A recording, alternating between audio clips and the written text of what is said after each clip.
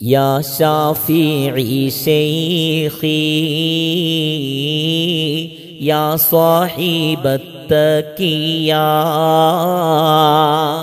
هادي الناس على